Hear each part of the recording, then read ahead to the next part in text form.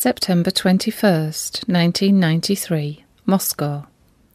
Vassula writes Lord, I ask if it is possible for you to dictate to me a consecration to the two hearts, since you asked me to tell the Russians to consecrate their country to your two hearts.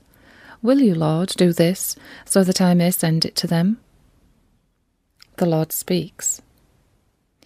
My child, hesitant, the footnote reads I had hesitated to ask him. Hesitant, you must not be with me. Yes, wholeheartedly, I shall give you one. Right. Designated in the prophecies of your word, O Lord, we know, we trust, and we believe that the triumph of your Sacred Heart and the Immaculate Heart of Mary is in the near future.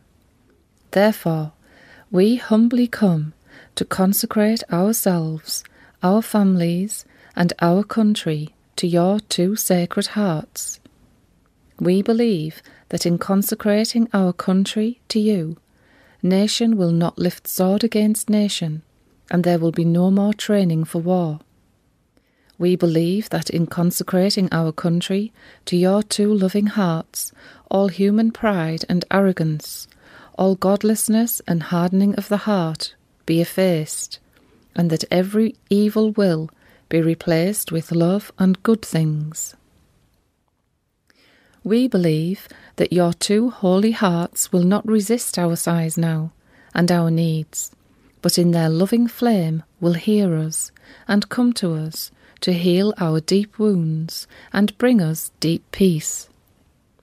O Sacred Heart of Jesus and Immaculate Heart of Mary, blow on us a spark from your two hearts to flare up our heart. Make out of our nation the perfect dwelling place of your holiness. Abide in us, and we in you, so that through the love of your two hearts we may find peace, unity, and conversion. Amen. Vassula of my passion, I am with you, unique, almighty, steadfast, faithful, and true. The Amen is accompanying you. Hear me. Sceptres and thrones have never impressed me. This is why wisdom favours the poor and the uninstructed. By means of your nothingness, my holy countenance shall be revealed. I will leave an everlasting memory to those I have willingly revealed myself. The footnote reads When Jesus effaces me and reveals himself during meetings or encounters, I will show myself to your society.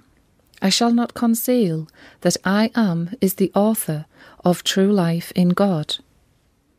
This, the footnote reads, the fact that he shows himself appearing, this too is a gift from the Most High.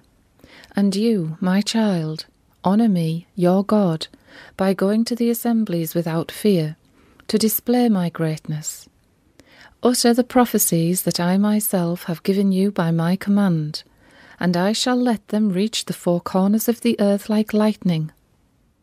Be generous in giving me your time, and go where help is needed. Never show partiality Go now in faith and be a witness forever.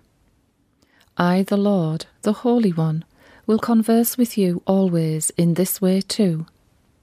The footnote reads When Jesus added after, in this way too, it was because I hesitated, not understanding whether his conversation will be only op- be orally or also by written form. The Lord says, Yes, come.